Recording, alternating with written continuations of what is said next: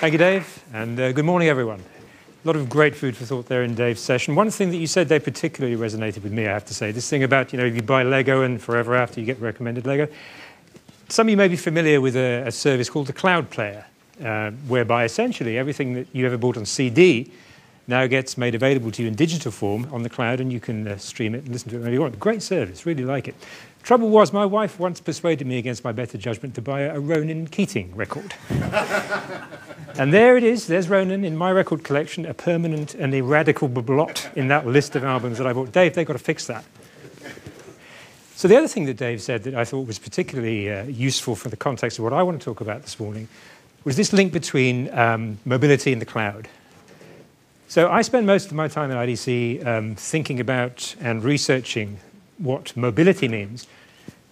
But mobility in the cloud uh, for IDC are two um, pillars of what we see as no less than a transformation in enterprise IT. We think that we are in the beginning of an era in which we're moving towards what we call the third platform of enterprise IT. The second platform being client server, and the first platform being mainframe terminal. And what's really key to understand about this third platform is that the patterns of adoption are going to be completely different. In the client server era, based on PCs connected over LANs, first of all, and later on connected via the internet, people came across this technology in their working lives, first of all. They came across personal computers, the internet, the World Wide Web, email in their offices. And they started gradually to understand what these things could do, how powerful they were, how they could help them perhaps in their personal lives. And when these things became more affordable, they started to buy them. So we had this direction of adoption from work to the personal life. What's happening in the third platform era, this mobile and cloud era, is exactly the opposite. People have these things available to them as individuals first, these things being smartphones and tablets, apps, and mobile broadband. People can already afford these things. So they know how powerful they are before they start using them in work. People are using these things to transform the way they do their everyday lives, the way they bank, the way they shop, the way they interact, the way they socialize. And then people take these things to work. And that's where the damage starts to happen if IT isn't careful. Because they do it in an unstructured, informal way. Sometimes they do it in a way that IT doesn't even know about. And even when they do know about it, there's very little they can do about stopping things like, for example, uh, putting corporate data into cloud storage on an ad hoc basis, which is unsecure. Things like putting corporate data on your device and then leaving it in the back of a taxi. Things like tweeting remarks which are pernicious, perhaps libelous, under a company account name. So, the first phase of mobility in the enterprise, and we're still to some extent in that phase, has been all about really damage limitation. It's been about mitigating the risks that employees expose the organization to when they bring these powerful mobile technologies into their working lives. I want to say a little bit particularly before we get onto devices about the connectivity, because sometimes connectivity is a bit of a Cinderella when we talk about mobility. It's taken as a given to, to a large extent. 4G LTE is a really key shift in mobility. Yes, 4G is faster than 3G, and to some extent that gets you to understand what it's about, but it's much bigger than that. 4G, as well as having faster data rates, uh, has a much lower latency. That means the round trip time that takes data to get from you back to you over the network. Uh, it's an all IP network, it's a data network for the first time in mobile, which is a key difference between that and 3G. 3G, of course, has circuit switch channels in it. So for the first time, we have a pure data network. And for the first time, uh, we have a mobile technology which has been adopted globally, albeit on different frequencies, but as a standard by all the major operators of the world. So that's something which you know, really holds out a lot of promise uh, for the enterprise IT people. From the point of view of users, it's much more simple. 4G is something that behaves like your desktop connection. For the first time, you use 4G, the thing you realize straight away is this is like my desk. It's fast, it's instant, it's responsive. And so people start to use the network in a different way. when they have a 4G connection. Trouble is that so far, in Europe at any rate, uh, 4G has largely been, again, a consumer first phenomenon. Most 4G subscribers at the moment are consumers. Businesses have yet to start picking up 4G in a concerted way, and that's a pity because if businesses start to adopt 4G more concertedly, um, operators start to make more money out of it. And if they make more money out of it, they're more inclined to invest in their networks and make the networks better so that enterprises get still more value out of them. So you get, if you're lucky, a virtuous circle of adoption and investment. But we're not there at the moment because mostly businesses are still taking a somewhat uh, wait and see, somewhat standoffish approach to 4G adoption. But there are some um, early verticals that we're finding in our research that uh, are already starting to realize the benefits of 4G. So, for example, uh, TV broadcasters are using it quite extensively across Europe now as an alternative to satellite for outside broadcasting. It's flexible, it's cheaper. Medical, in particular, you can now start to transmit uh, diagnostic quality images over the mobile network, which means that uh, when a paramedic's on site attending to an accident, you know, they can uh, take a picture and send it back to a specialist at the hospital who can recommend treatment there and then. So those are just two examples of a much wider range uh, of benefits that 4G connectivity can offer to enterprises. Coming now to the devices aspect of mobility. We hear a lot about BYOD, bring your own device, this phenomenon whereby, well, all right, if people are going to bring their own devices and use them at work, we'll make that formal. We'll bring some policies and frameworks and, and systems in place uh, that can control that, that, that can uh, at least limit the damage and perhaps even exploit that in, in the enterprise. BYOD taken off to quite a large extent in the US. And for a while, uh, it looked as though it was going to be vogue in Europe as well. What we're showing here is the results of our most recent edition of a six monthly survey that we carry out uh, of European enterprises. And one of the things we ask them about is BYOD. So we say, you know, do you have uh, formal policies in place to allow your employees to bring their own devices and use them at work? And about a third of them do. That doesn't mean the whole enterprise, of course. It could be just a few employees. But at least to some extent, about a third of enterprises say that they have some form of BYOD in place. And about another quarter say they intend to do that uh, over the next 18 months. What I find really interesting about this finding is when I compare it with the same question a year ago, the percentage of, of enterprises that do not plan to have BYOD is about the same. Some of those quarter that said yes a year ago have now put those plans in place. They've come to fruition. But what we're not seeing is a significant amount of new companies intending to adopt BYOD. We think this is the first data confirmation that we have of something we're also hearing anecdotally, which is actually European employees don't like BYOD so much as American employees. There are a number of reasons for that.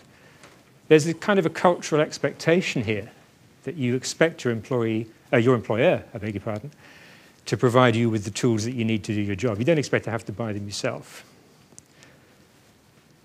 Another reason why BYOD is perhaps less uh, popular here is that some of the most popular devices, one of the reasons that people want to bring their own devices because they want a particular device that's popular, some of those devices are now being provided by enterprises. And so if your enterprise, if your employer is going to give you that device, your desire to bring your own goes away. And also when people actually come up against what's involved in bringing their own device and using it to, uh, for work in a, in a formal way, they start to become a bit less keen, you know, having literally to sign forms in some cases, having to have parts of the device which are under your control or parts which are not under your control, people start to find that quite cumbersome, quite onerous sometimes. So, for all those reasons, what we're actually seeing in Europe now is an increasing preference for CYOD, choose your own device, whereby the employer has a list of devices from which the employee can select the one that they want. The list, of course, varies according to role, but and there are a lot of other variations of the model. But in principle, what this is is a gravitation of the selection and procurement of mobile devices back away from the employee, back towards the corporate IT department, which has some big implications for future patterns of adoption. What all this adds up to, we think, is the cusp of a transition from an early phase of mobility, this consumerization based phase of mobility, in which essentially the objective has been to manage the risks of mobility, and towards a second phase where increasingly mobile is seen not as an auxiliary, not as something which gives you access to your systems when you can't access them in the way you really want to do, which is from your desktop. Rather, in this phase, mobile devices and networks are treated as the primary access mode for IT systems. That's a fundamental shift away from traditional development paradigms. And in terms of motivation, the big difference between the consumerization and the mobile first phases is that it's no longer about managing the risk, it's about exploiting the benefit of mobility. It's about making mobile not, not something that's happening to you, but something that works for you as an organization. Of course, things are not that simple in reality. Um, there's a wide amount of, of variation in, uh, in what companies are actually doing in mobility. So, in order to try and make some sense of that in our research, uh, IDC has developed what we call our mobile maturity model, in which we, uh, we define essentially five broad stages of maturity characterized by various things. And of course, this is just a summary here. Uh, there's a lot more where that came from, I'm afraid. But fundamentally, what we're talking about here is a spectrum between uh, the least mature phase of mobility, in which essentially IT is reacting to what's happening. You know, they're fixing problems. In which mobility developments, if they happen at all in the IT department, don't happen in a coordinated way. And in fact, more often, mobility developments tend to happen not from the IT department, from line of business departments, such as marketing. It's people who understand what they want to do with mobile and are getting uh, little cooperation from IT, but they have the budget and the expertise to go ahead and do it themselves. So, in that least mature phase, things tend to be very uncoordinated, therefore very inefficient. And the focus tends to be very much on the devices in that ad hoc phase. Mobility pretty much means devices from the point of view of planning and development. And at the other end of the scale, we have the most mature enterprises, of which, of course, there are very few right now who are in this mindset that I described just now of mobile being the primary platform for IT, not the auxiliary, but the main means of, of, of accessing, um, accessing IT systems. In this phase, companies are thinking about retiring client server. They're thinking about mobile superseding client server development. And they're not thinking about how to limit the risks of mobility, but they're thinking about how to firstly exploit the benefits of mobility. More importantly, still, they're thinking about how to build and sustain advantage against their competitors by using mobility. And that leads naturally to a migration away from a focus on devices to a focus on applications. Because fundamentally, devices are not a source of competitive advantage. The same devices I can buy, my competitors can buy. Competitive advantage comes from what you do with those devices, and what you do with them is what we call applications. So naturally, as companies migrate up this spectrum of maturity, the focus of development shifts away from devices, not entirely, of course, but it's not the main focus. The main focus becomes the applications. So all that's a little bit abstract, um, and so I thought I'd, at this point, uh, introduce a couple of examples of what companies are doing as they try to move up to these more mature phases of mobility. And these come from uh, the white paper that I researched and, and, wrote recently, which you will have a copy of. So uh, there's a good deal more detail in there uh, if you're interested in checking them out. But essentially, I wanted to point out two of these. Uh, one is a professional services firm. And one of the key things about a mature approach to mobility is there's a strategy. Duh. But actually, this is not common still. Mobility still tends to be tactical more than strategic. So companies that actually have a strategy, better still, one that the IT department sets, start to indicate that they're becoming a bit more mature in their approach. The principal goal of mobility is not related to technology. It's related to the business. It's to do something which is fundamentally of benefit to the business, not a technological issue. In this case, the company's most expensive asset is people, so it wants to make the most out of them because it's all about the margin. And so it's using mobility to make its people more flexible in the hope and expectation that they'll work longer hours. Very simple. As I said, a focus on applications rather than devices, uh, a key characteristic. In this case, the application is the one which enables people to record how they're spending their time so that the company can immediately and in real time bill the client for their time.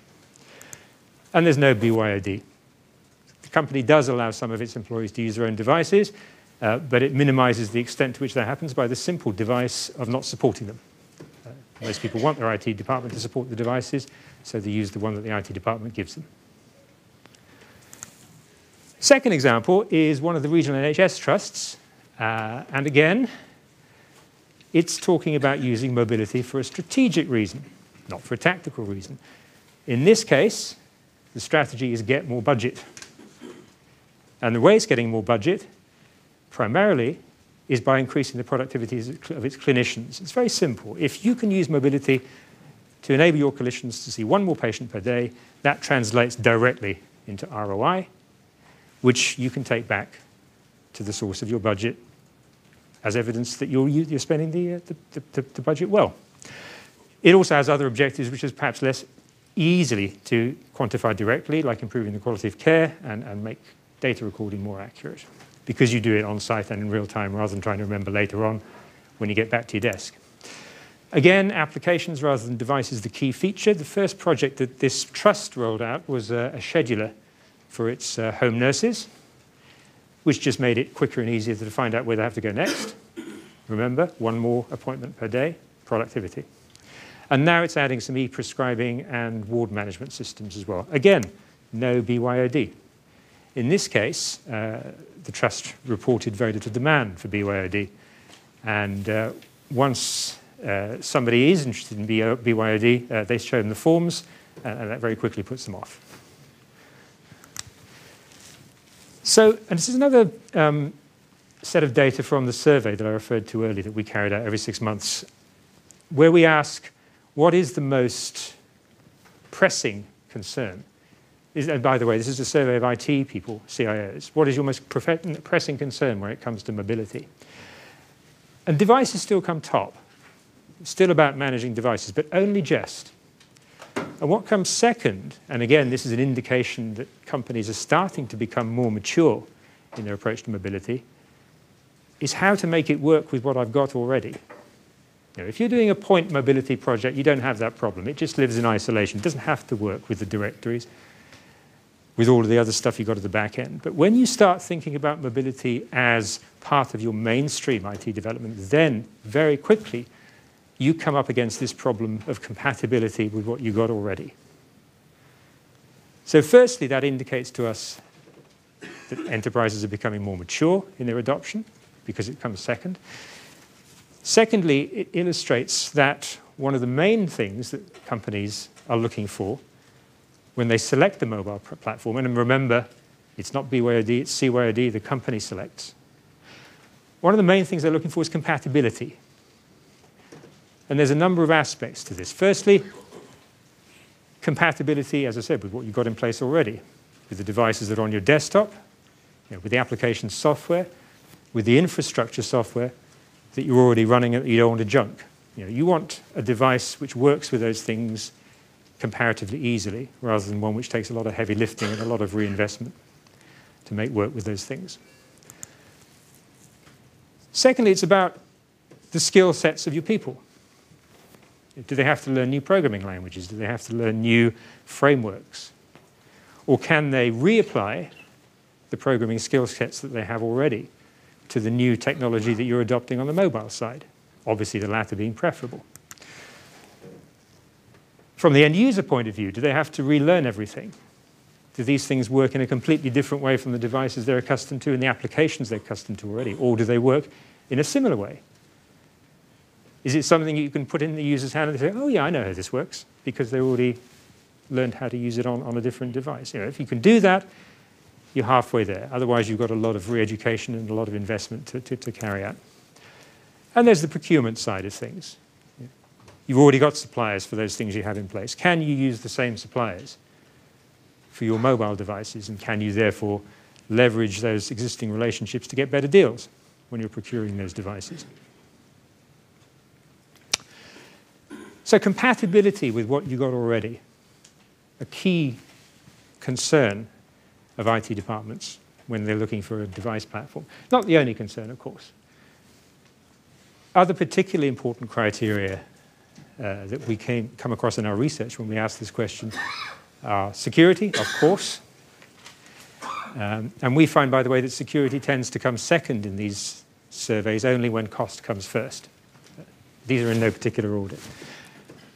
Cost, manageability of the system, uh, particularly in terms of compatibility with, with MDM products. regional support, particularly for international organizations, of course, you know, the extent to which uh, they don't have to deal with different suppliers in different countries, but have a single pane of glass approach to support.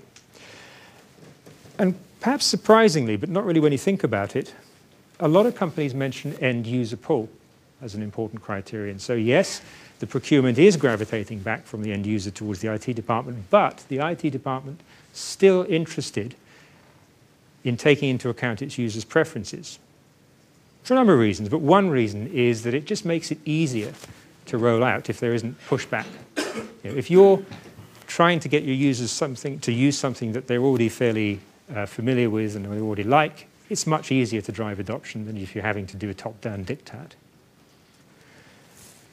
And really, this is a symptom of a bigger issue for IT, which is they're having to transform their role. Traditionally, IT departments have all been about technology, and they've all been about control. They've been about determining and implementing technology, hopefully to benefit the organization, and controlling how the technology is used and when it's not used, and the circumstances in which it can be used. Those things don't work in the mobile first era. You can't control what users do because they have too many options for getting around your controls. It's not motherhood and apple pie. It's not about going from control to enablement because that's the right thing to do. It's because you can't do control. If you put controls in place, there are a hundred ways that users will find to get around those controls better to put things in place that enable users to do what they want so they have no motivation to go around what you put in place. And moving away from a focus on technology to focus on business. Again, smacks of motherhood and apple pie, but there's a very pragmatic reason for that. And the reason for that is that IT budgets are going down and business transformation budgets are going up. So if you as a CIO are using mobility in order to address the things that the business transformation people want to do, you'll have access to budgets that you won't have access to if you're just buying kit. So that's everything I really wanted to cover in this session. Um, if I want to leave you with one message, it's this. It's a journey. Right now, a lot of enterprises are still focused on devices. They're still in that ad hoc reactive mode. But we're seeing an increasing number of UK enterprises who are now at least starting to understand that they need to use mobility to benefit the business in a more fundamental way. And they've at least started on the journey to get there. Thank you very much.